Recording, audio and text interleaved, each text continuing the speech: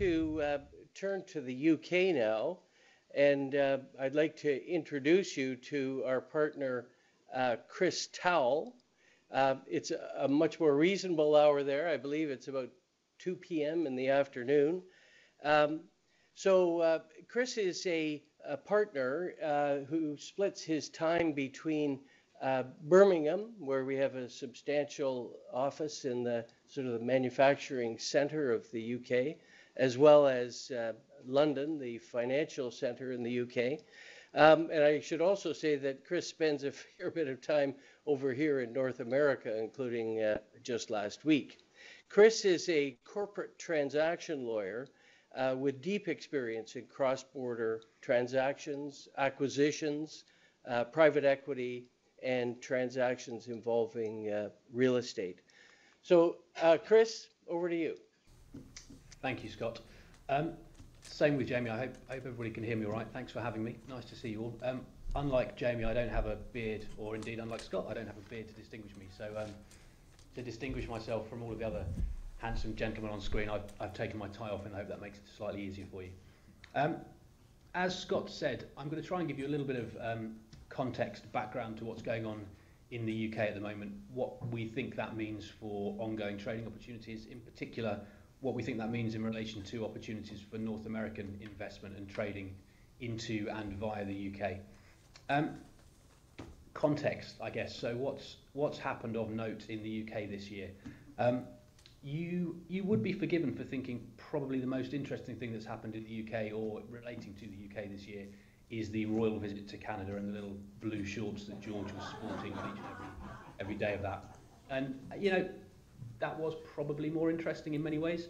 But the, the other big news, slightly overshadowed by slightly bigger news in, in the US recently in the same ilk, of course, was the shock, I say, referendum in the UK and the decision to leave the EU.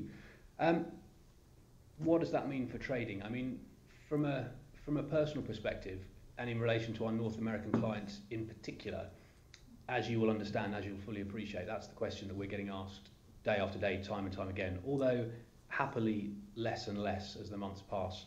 Um, Brexit, what does it mean? In terms of the process, well, the short answer is we don't really know yet. Um, we don't really know who can trigger the Brexit process. There's a there's a court case underway, well publicised at the moment, deciding whether or not the government can go ahead and do it, whether they need to have a conversation with Parliament, whether they might want to come back and talk to the individuals that voted one way or another. Again, seems unlikely, but possible. What are the government plans in relation to that process? We don't know.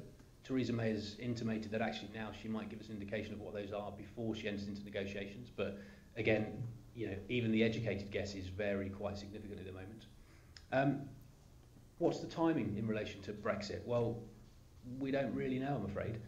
We, we all anticipate, as we are told, that the trigger, insofar as the government's allowed to exercise that trigger without other consent, will be pulled by March of next year, uh, which will push us into a two-year process of negotiations with the rest of Europe. But does that mean we'll have a decision? Does that mean we'll have exited within two years? Possibly, possibly not. It could be two years, it could be three, it could be seven, it could be eight. It just depends where we get to.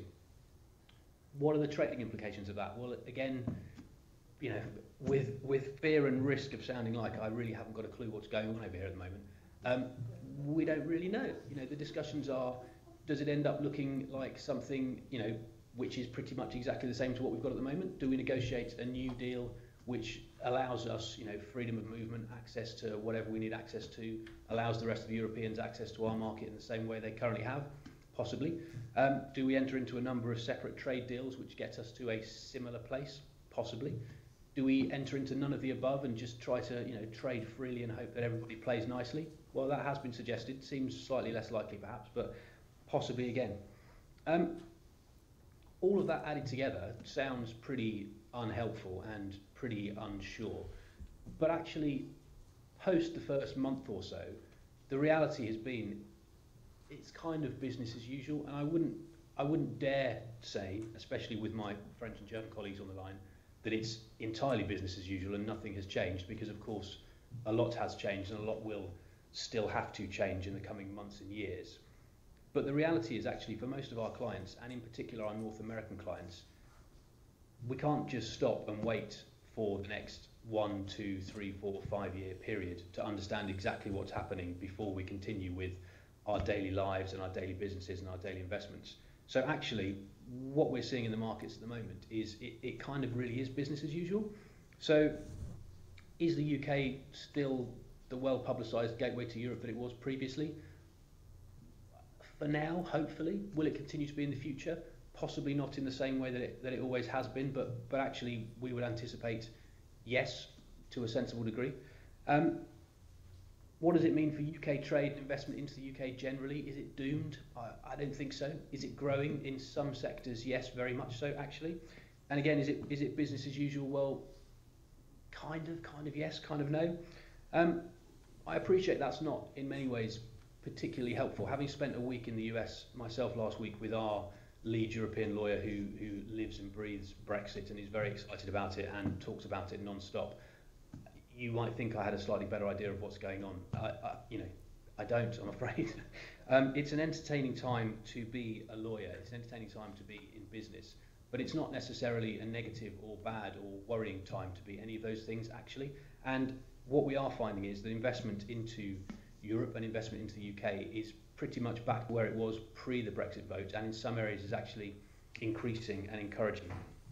And against that, I would, without wanting to end my first context introductory slide in even more doom and gloom, um, just, I guess, mention that against the backdrop of exit, Brexit is a wider backdrop of global uncertainty in relation to you know, markets generally. So in the US, slightly shock election. You know, Germany, France have got elections coming up. Obviously, things are going on in Italy, which 12 months, two years ago, probably wouldn't have been expected. Austria is having, having similar discussions. So this isn't a UK phenomenon, this is a worldwide phenomenon. And it's something which possibly, if everybody stops, stands still and does nothing, has the ability, of course, to get into the way of what you do in your daily lives and your business and your, your plans for investment and expansion. But at the moment, I think we say doesn't necessarily need to. And from what we're seeing, most of our clients are accepting that it doesn't really need to and moving on. So, opportunities, are there any? Um, well, we would say absolutely yes. And, you know, from what we're seeing in the various markets, all of our clients seem to be saying absolutely yes. You know, should we should we worry about the UK market going away? Should we all be focusing on other parts of Europe? Well, not just yet, we would say. However, again, mindful of the fact that I've got French and, and German colleagues on the line, absolutely, if that's what you want to do, then they're, you know, fantastic. They would be very happy to advise you, and between us, I'm sure we can we can work out whatever the answer might be. Um, from a UK selfish, personal perspective, the fact of the matter is that the UK continues to be one of Canada's top trading partners. It continues to be one of America's top trading partners. It continues to be seen as one of the lead destinations for investment from North America. And indeed, that's investment into the UK and that's investment into Europe via the UK.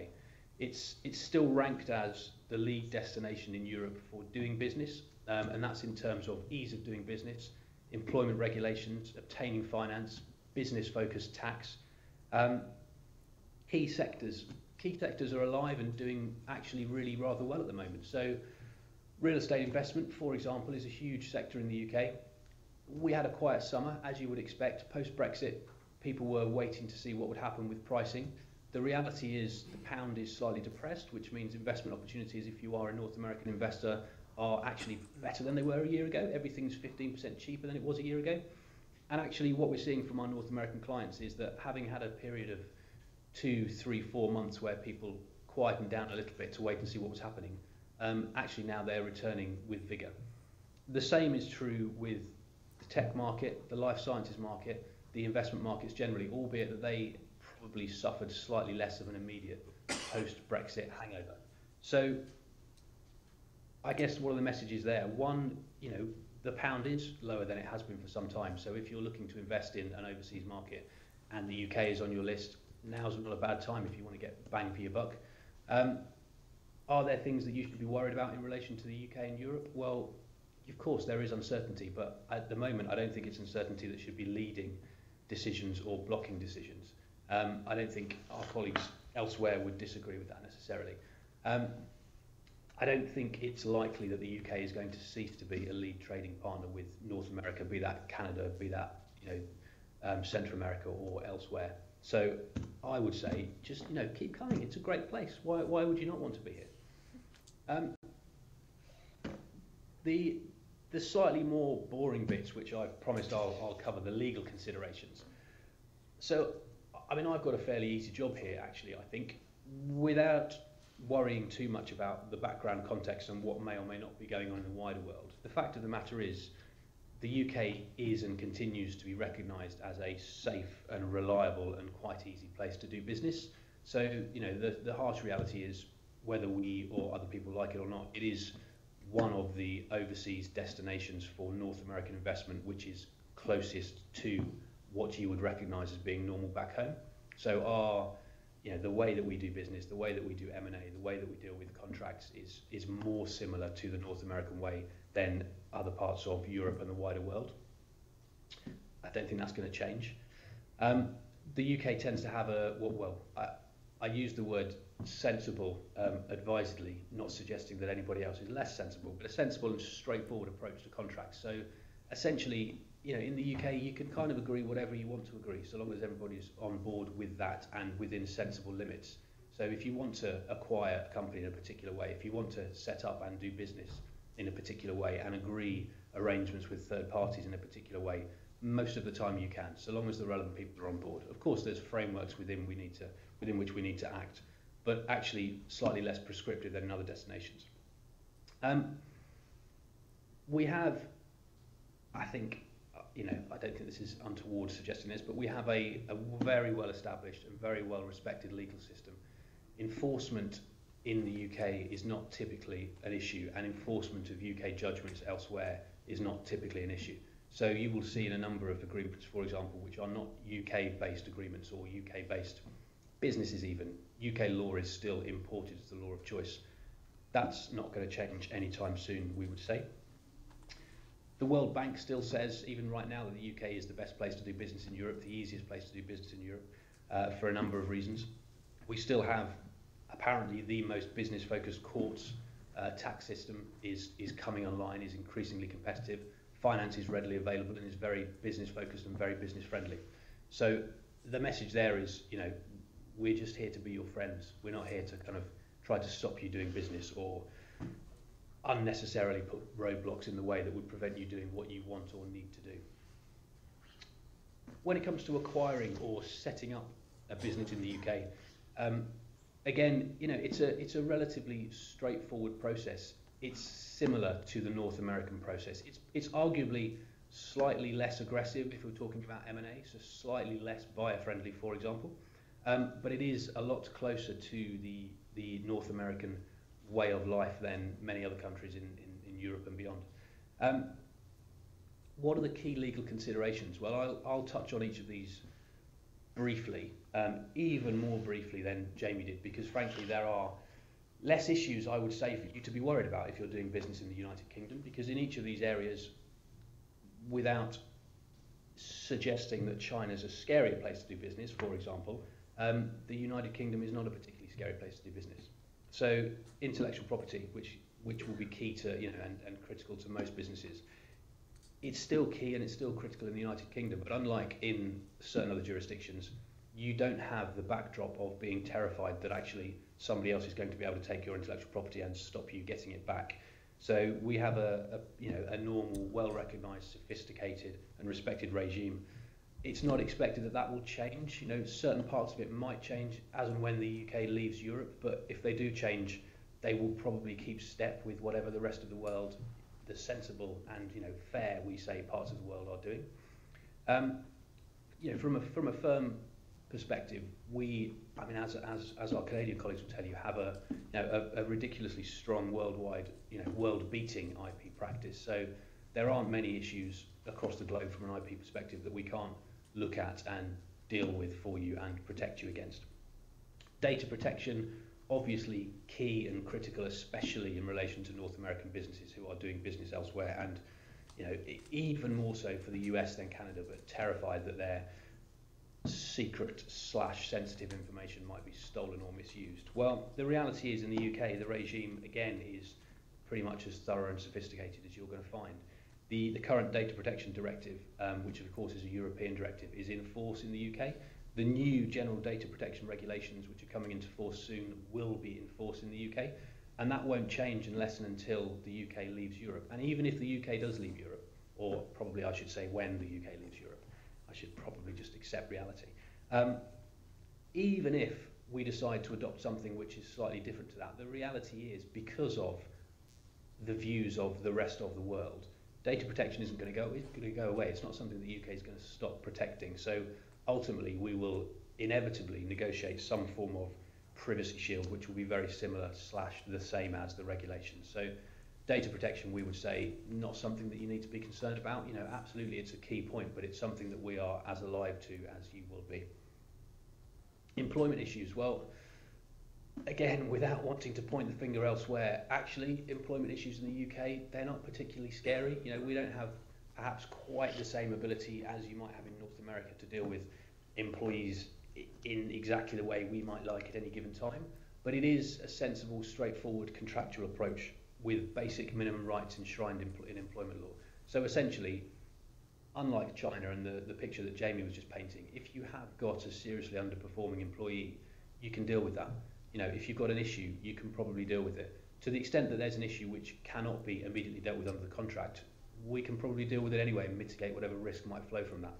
So, you know, employment law, whilst it is a scary topic in many countries, and some of my colleagues, I have no doubt, will touch upon that in relation to their jurisdiction shortly. In the UK, it's not really something that you need to get too uptight about. Work councils here are very, very rare. That's not necessarily the case across other parts of Europe, but here it's not that big a problem.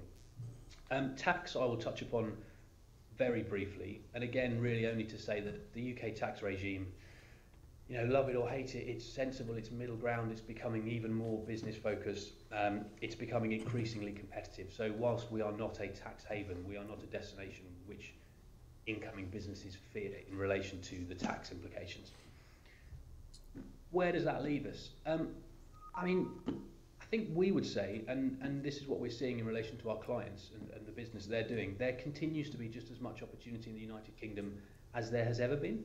And, you know, I can't gaze into a crystal ball and tell you that that will continue forever and ever more, and that whatever happens in the rest of the world, you know, the rest of Europe, the UK leaving the European Union, will not necessarily affect that, or there might not be the odd bump in the road. Um, I think what I can tell you is that we're confident that there won't be any major problems, and even as things change, solutions will be found to enable the UK to trade with the rest of the world in the way that it has always enjoyed doing, and and vice versa. And from a from a firm perspective, what I would say is you know, genuinely, to the extent that the UK is the right destination of choice for you, fantastic, we'd love to help. To the extent that, for whatever reason, you feel that, you know, France or Germany or other areas of the, of the, of the world are the right place for you, then equally we'd love to help. You know, it, it's not a one-size-fits-all solution, but we do have a solution in most of those jurisdictions. So to the extent that you want assistance in the UK, you know, all day long, please let us know. But to the extent that you for reasons which, of course, I would not be able to fathom, decide that you know France or Germany is a better choice, then you know we have the people here that can help. Thank you. Well, no, thank you, Chris. That's uh, terrific.